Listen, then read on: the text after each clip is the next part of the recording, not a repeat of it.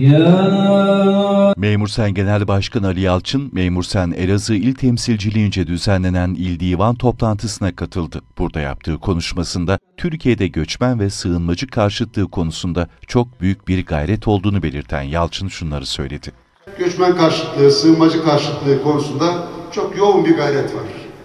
Bu konuyu kaşıyarak Türkiye'de bir manipülasyon oluşturma, Türkiye'yi bir iş gerginliği içerisine çekme anlamında bir özel uğraş var.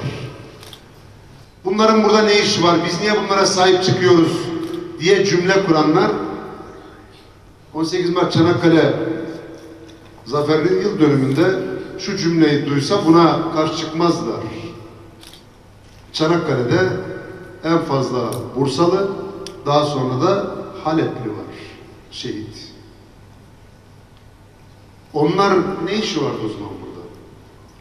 Kargaşa var, bir savaş ortamı 2011'den beri devam eden, insanların yerinden yurdundan olduğu, dünyanın sağ ve dışsız kesildiği, Türkiye'nin kucak açmak ve sahip çıkmak mecburiyetinde hissettiği, çünkü burası kadim coğrafya ve medeniyetin merkezidir. Türkiye'nin bu anlamda davrandığı oradaki insani yaklaşım, ortaya koyduğu tavrı eleştiren ve bunun üzerinden bir muhalefet geliştirmeye çalışan böyle çok tuhaf hareketler ve tarzlar gelişti. Bunu asla kabullenmek mümkün değil. Yalçın, Eşel Mobil sistemine de değinerek bu konuyu toplu sözleşmelerde birçok kez masaya getirdiklerini kaydetti. Enflasyonu yüksek olduğu zaman da iki zam arasındaki süreçte alım gücü aşağı düşüyor. Milimetrik hesap yaptığınızda mevcudun altına düşüyorsunuz. Onun için biz bu tip durumlarda ülke istikrarı yakalanana kadar ki süreçte mutlaka ama mutlaka aylık eşemobil sistemi devreye girsin.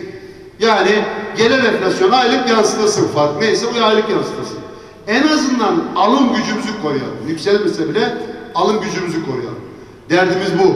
Geçen 7'nin üzerinde enflasyon rakamı açıklandığında yine aynı çağrıda bulunduk. Eşel mobil sistemini enflasyonist ortamda istiyoruz. Enflasyonist ortam geçtikten sonra devre dışı bırakıyoruz diyebilirler. Ona da varız. Ama bu enflasyonist ortamda bizim bu durumumuzu korumak durumları.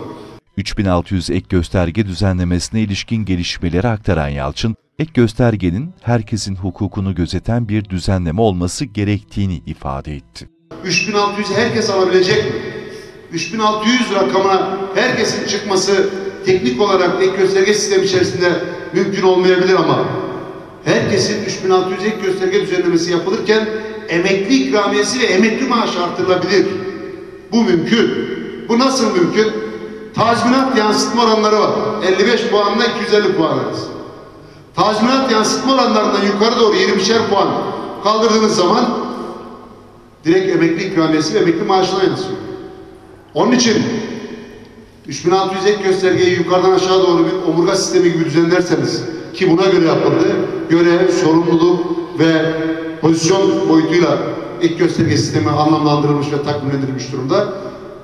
3600'ün altında kalanların tazminat oranlarını biraz yukarı doğru çektiğiniz zaman o da amacına ulaşmış olur. Çünkü buradaki esas maksat şu. Çalışırken bir katkısı olacağından değil. Emekli olduğunda emekli maaşı ve ikramiyesi artsın beklentisinden kaynaklı millet ek gösterge istiyor.